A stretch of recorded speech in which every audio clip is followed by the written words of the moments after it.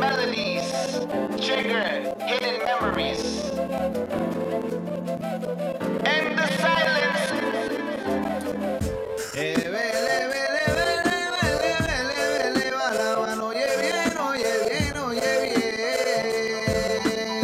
Here to um, shed light about migrant workers in Canada, migrant exploitation, and to talk about cross cultural understanding through music and to raise awareness about everything that is happening in Ontario in regards to migrant workers.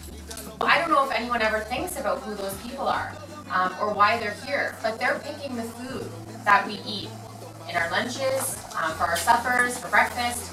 Um, so they're providing us with our food. So it's really important that we become aware of that and that they are here, and sometimes they're not treated fairly. Um, they're not treated the same as you or I um, because they're coming from a different country. Um, and so as students, we have the potential to create awareness, okay, and to do good things for these workers. My name is Miss Mitchell. I'm from St. Christopher School in Niagara, and I teach grade 5 6 class.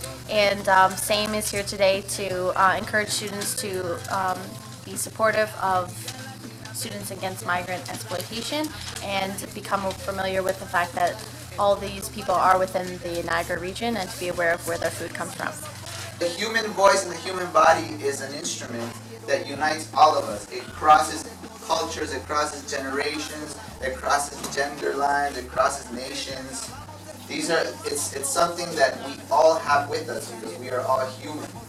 So sometimes when we're when, when we look at things that unites us that we all have in common, we begin to realize that we're all the same. There's a problem sometimes that exists with the treatment that's given to some of these workers. And our goal of our presentation is nothing more than for you guys to go home and think about where your food comes from and appreciate the fact that workers leave their families and leave their kids much like you guys for six, eight, ten months of the year to try to make their family have a better life.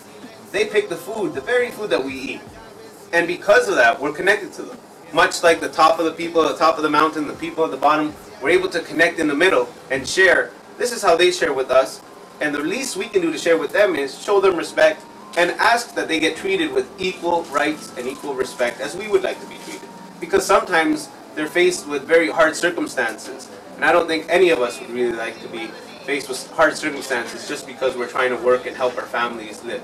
Right? And so the number one goal of our presentation is to think about what Ruben talked about today.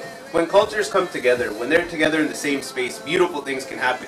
So the fact that workers, many workers, come here every year to share with us, to pick the food that we eat, should be recognized, and we should be happy for them being here, right? Because they do help put food on our tables, and so they deserve equal rights because we are all the same. Okay?